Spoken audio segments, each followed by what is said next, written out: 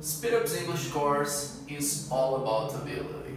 Here, grammar is not important.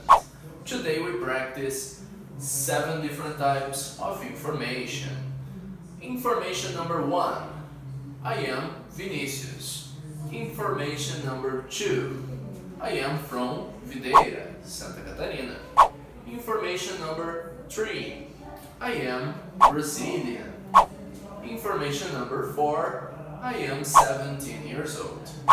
Information number five, I am an English teacher at SpeedUp in Cornélio. Information number six, I am tall and overweight.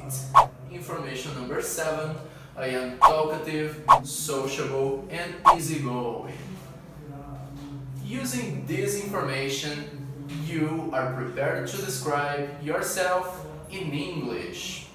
And remember, at SpeedUp, you speak more.